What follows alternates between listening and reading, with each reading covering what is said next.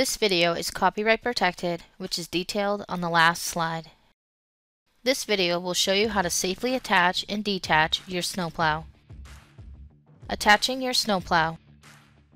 Pull the pin release handle and push down to pull out the connecting pins. Drive your vehicle slowly towards the snowplow to engage the push plates into the pockets on the headgear. Standing in front of the blade, fully raise the pin release handle to release the connecting pins. Push the headgear toward the vehicle to allow the connecting pins to fully engage the push plates. If you are unable to push the headgear from in front of the blade, stand in front of the headgear on the driver's side and push on the headlamp bracket. Pull out the jack lock and push the pin release handle into the stop on the headgear. Make sure the pin release handle is fully engaged into the stop. While holding the jack lock out, use the jack handle to fully raise the jack.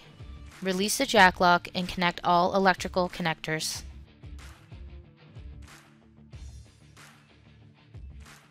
Detaching your snowplow. When detaching your snowplow, ensure the snowplow is on a hard, flat level surface and that the blade is in the straight position. With the vehicle in park, lower the snowplow to the ground. Pull and hold the jack lock out, allowing the jack leg to drop to the ground. Pull the pin release handle away from the stop and jack lock. Release the jack lock. Verify that the jack lock is locked by trying to lift the jack. Standing in front of the blade, push the headgear toward the vehicle and push the pin release handle down to disengage the connecting pins.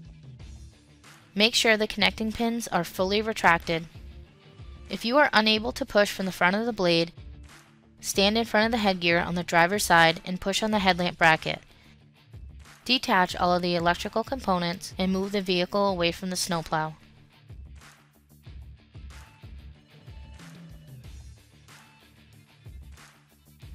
Thank you for watching this video. For additional questions on detaching and attaching your Fisher snowplow, please contact your local Fisher dealer.